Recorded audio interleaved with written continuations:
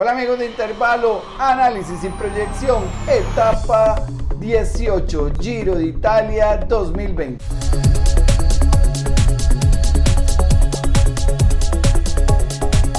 Nos enfrentamos a un monstruo que come ciclistas con 207 kilómetros y se las describo a continuación. De salida prácticamente en el kilómetro 13.8 el primer premio de segunda categoría.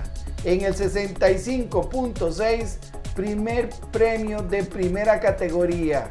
Señores, la meta de los puntos estará en la 144.5 a pie del monstruo de esta etapa, una etapa que tiene un puerto de fuera de categoría en el 169.4. Rampas durísimas y difícil para todos los ciclistas. Y como si fuera poco, un descenso muy, muy complicado. Y ahí en el descenso nos vamos a encontrar la meta de los bonificables en el 196.4. Y en en la, última parte de la carrera, así el punto final, un premio en primera categoría exactamente en el 205 a falta de solo unos kilometritos para llegar a meta y una leve bajada la cual pondrá eh, muy bien las intenciones para la etapa.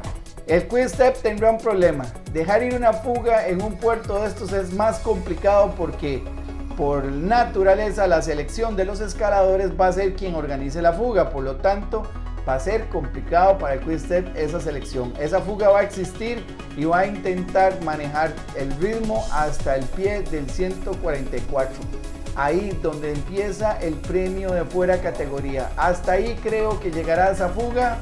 El equipo del Quick pondrá un paso para controlar y el Zoom Web probablemente lance ataques eh, de intención o de selección, lo cual es muy probable que el Quick Step eh, ponga un paso muy muy fuerte en este premio fuera categoría. Luego, en el kilómetro 196, sin duda, entrarán a un gran ritmo y ahí empezará una lucha para eh, desgastar al líder sin duda alguna y veremos qué tan fuerte está Joao Almeida en la alta montaña. ¿Por qué? Bueno, porque estos dos puertos ya son de altísima dificultad al tener más de 2.000 metros. Señores, ¿quién es el gallo que va a manejar el Giro de Italia?